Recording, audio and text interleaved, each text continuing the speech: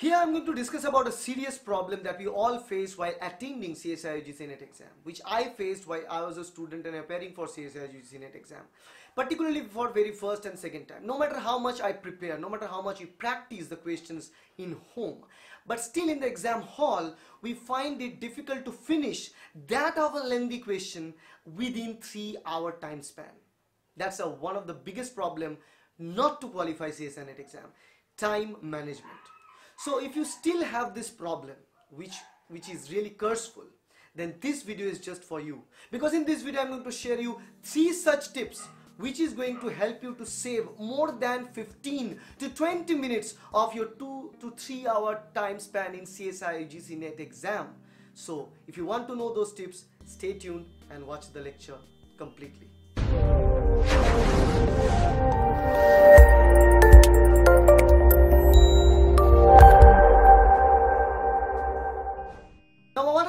Is that most of the time uh, we stuck to answer all the questions because we keep our expectations too much for every single question.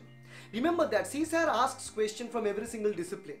Thus, it means we are not be able to answer every single question with the same expertise that we already have. Because maybe some student is from zoology, some from botany, some from human physiology.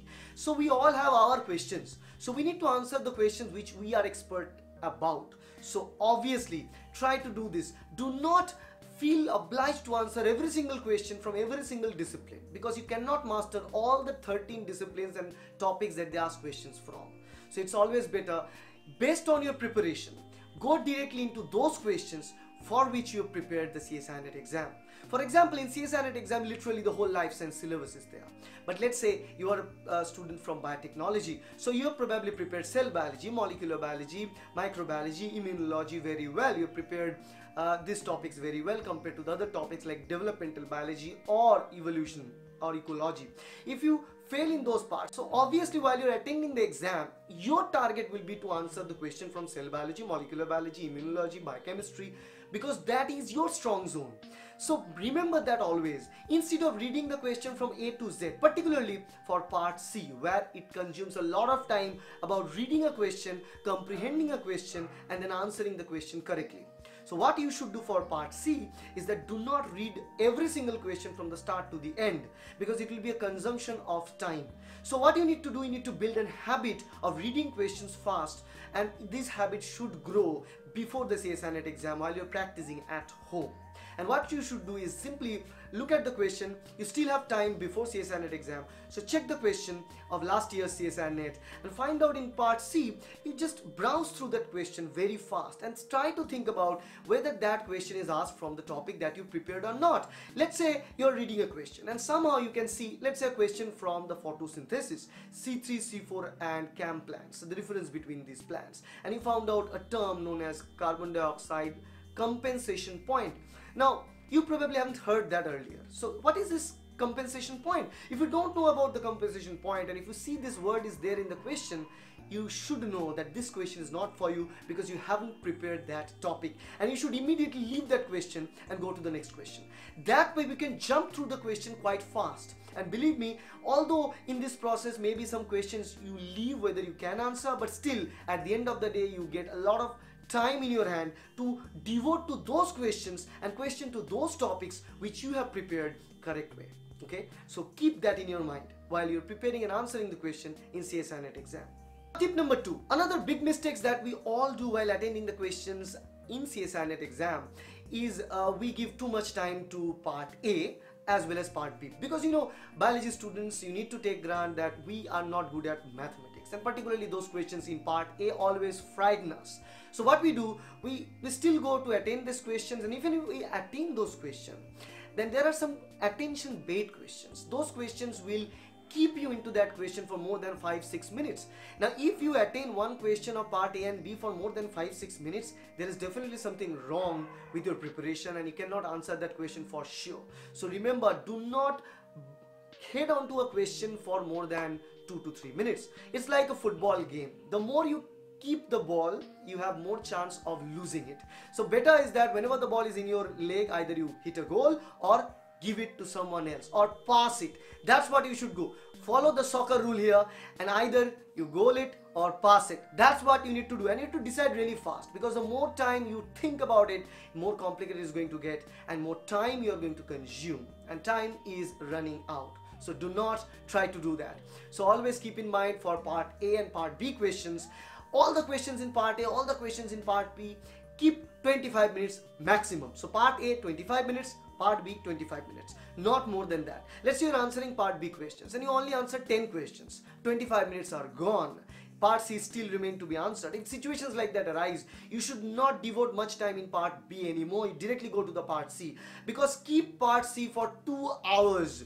Believe me, if you are good at part C, you should score 100 out of 100 in part C. And to do that, you need to score well and you need to give more time to part C. Because if you devote more time to part C question, there will be some question that you can still answer if you devote more time. But if you devote more time to part B questions or A questions, nothing will come up. Because literally if you don't know about the question in part B you cannot answer it no matter how time you devote.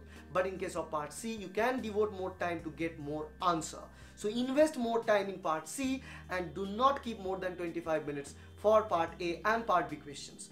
That will save 10 minutes of your time directly. And that 10 minutes should be kept always for the end time of CSIR exam. Just like any exam, always our teachers taught us that at least 5 to 10 minutes you should keep at the end of the exam to check whether everything is fine, whether OMR is properly filled or not and all these things. Because these are some technical issues that many students do.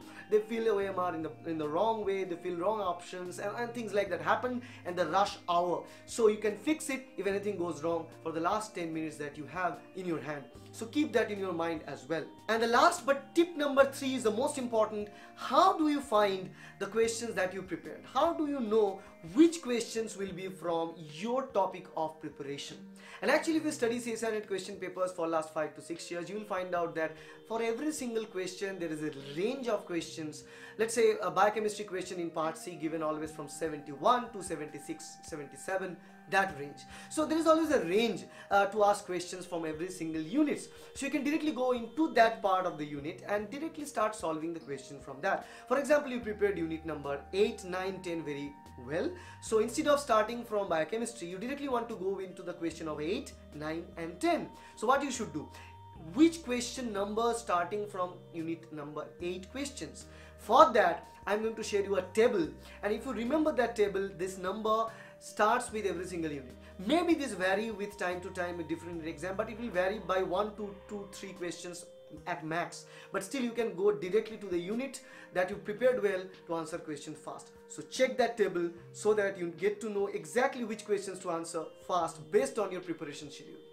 So hopefully you get benefit from this video because I've shared all the information that can save time more than 20 minutes for CSIR NET exam. And saving 20 more minutes in CSIR NET exam means you can answer 3 to 4 more groups C question. That means you can have this room of answering and getting 14 to 16 marks of questions correctly and that can improve your score not only the time management but also help in, in increasing your score and increase the chance for you to qualify CSIR NET JRF so if you like this video, please hit the like button, share this video with your friends and subscribe to my channel to get more and more videos like that. And all the very best for the CSIR NET exam and see you later with a new video. Thank you. Bye.